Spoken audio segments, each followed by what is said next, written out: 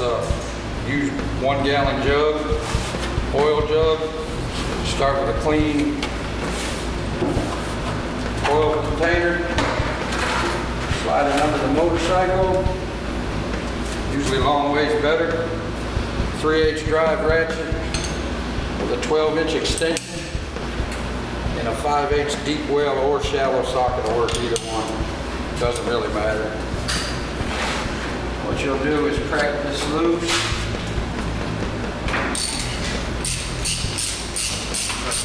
Completely remove the oil plug. And we haven't removed the dipstick yet, and I'll show you why in a minute. It just saves the oil from coming gushing out at you. What you want to do is set your oil plug bottom side down on a clean rag. You've already removed the drain plug. Now you'll come over, remove the dipstick. It takes a little bit to get it out. Normally I'll hold a rag under it to keep from making a mess. Just sort of visibly look at your dipstick, make sure you ain't got no, nothing, debris or anything, and just lay it on a rag. Oil wrench with the cutout for the crank sensor.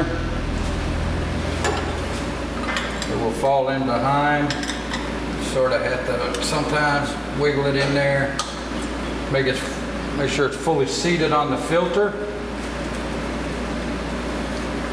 Take your ratchet with your extension.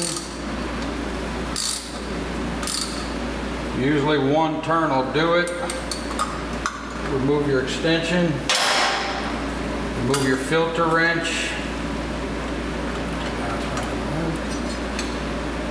I didn't have it fully seated, that's why. If you can't get it off, just spin it all the way off with the filter. Either way is good.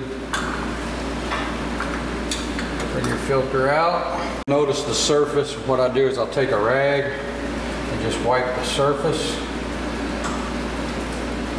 And visibly look, make sure you don't have any trash or residue or anything in the oil filter mount. Wipe the threads off. Visually inspect everything to make sure you don't have anything in your way. At this point, you'll open your new filter. Visually inspect the new filter just to make sure everything looks good. The rubber O-ring is clean, not gouged or pinched or anything.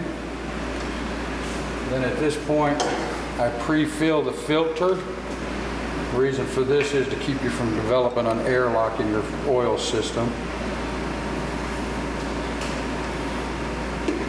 What you'll do is just fill it enough to where it comes up onto the top of the filter. Take your index finger and wet the rubber O-ring with oil. That helps seat it onto the housing. At this point, you will reinstall your filter.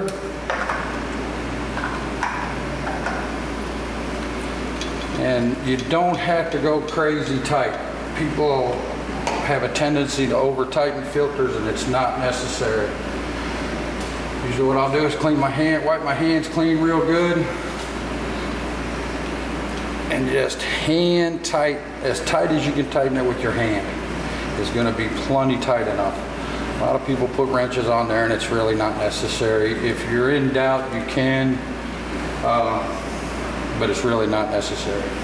All right, the drain plug we removed earlier. What you'll do is take a clean rag, clean it thoroughly. The end has a magnetic tip to pick up any debris.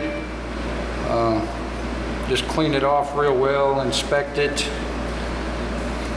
Make sure everything looks good, no big particles, so on and so forth. There's an O-ring. I'll take a pick. Remove the old O-ring and discard it. Check your threads just to make sure there's nothing on them.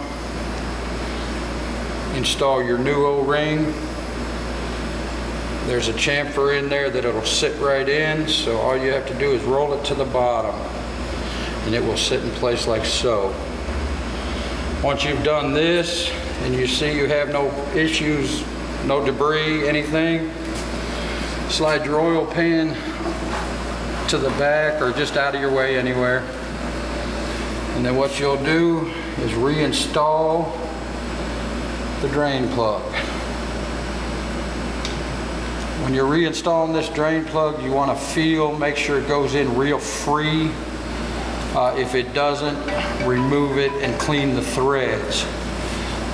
The best way, or the way I do it, is I'll run it in finger tight till it seats against the O-ring. And I will take my 5/8 socket with my ratchet and extension.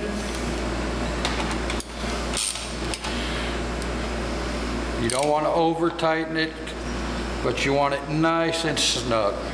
You know, pretty good little snug on it. You don't want to go crazy and strip anything. But a nice little snug fit where it bottoms out the O-ring.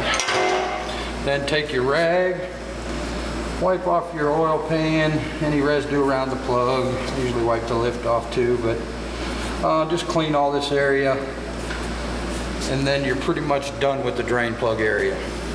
Right now you will take a small funnel. If you don't have a funnel, if you don't have a funnel, an old 20 ounce bottle will work fine also.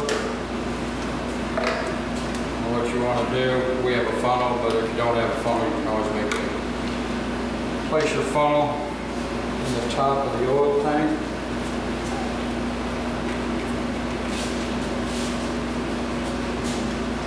pour in your oil. nice and slow, no hurry, you don't want to make a mess. But usually what I'll do is I'll leave a half a quart in the last bottle. Remove your funnel. Again, wipe off your dipstick just to be sure. Clean around the edge, you know, the, the seal here and then reinstall the, the dipstick. Make sure it's pushed all the way into the tank. At this point, we will cycle the bike, let the oil go through the system for probably 30 to 45 seconds, somewhere around in that area.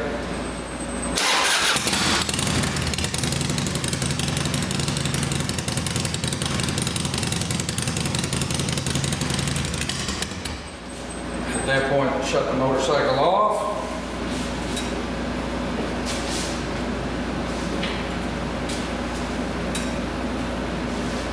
Remove your dipstick. Wipe it off. Give the motor about 15 seconds to let the oil drain back down. And then reinstall your dipstick to check your levels. And as I said earlier, I leave about a half out. That will show you we're about a half, which is what I left out. But it's uh, easier to add than remove. So now we'll go back and add our last half a quart.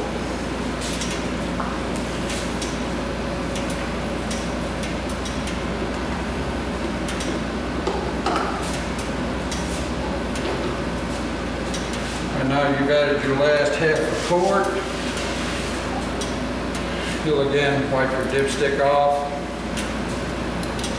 reinstall, let it set for a few seconds. Once it's set for a few seconds, then just recheck your stick and it should be to the full on the hot mark, which this bike was already warm when we started. Once you're up to level, you've checked that it's level, reinstall your dipstick.